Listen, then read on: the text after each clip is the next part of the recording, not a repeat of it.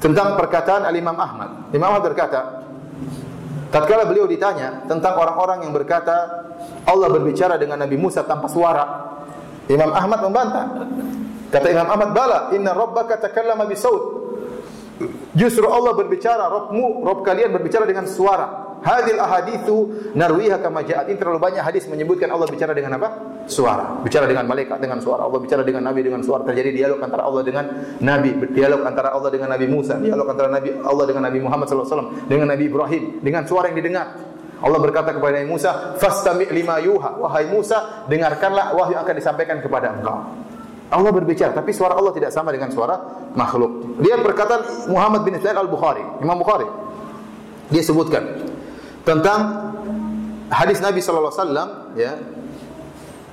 Wa anna Allah yunadi bi sautin yasma'u man ba'ud kama yasma'u man qarub. Bahwasanya pada hari kiamat kelak Allah berseru dengan suara yang orang yang dekat maupun yang jauh dengarnya sama saja.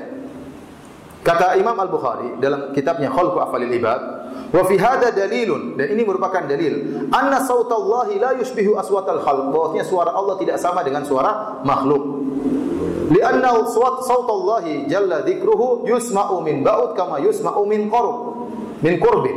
Karena suara Allah itu yang dengar maupun yang dekat maupun jauh dengarnya sama saja. Wa annal malaikatu yus'aquna min sautihi dan malaikat bisa pingsan gara-gara mendengar suara Allah Subhanahu wa taala. Kemudian kata beliau, Ya, fa idza tatanadal malaikatu lam yusaqu adapun tatkala malaikat saling berbicara di antara mereka, mereka tidak saling pingsan.